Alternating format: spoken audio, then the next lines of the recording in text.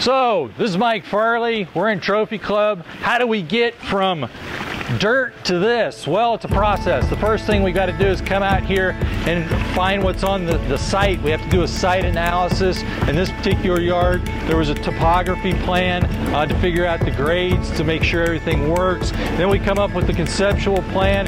From there, most people can't understand it, so of course we put it in 3D. The 3D people can now visualize, and then after that, it's like, okay, that's what we want to do. We got to do working drawings to make sure that every all the details are explained so we can construct it over the time period. And voila, we're at the end.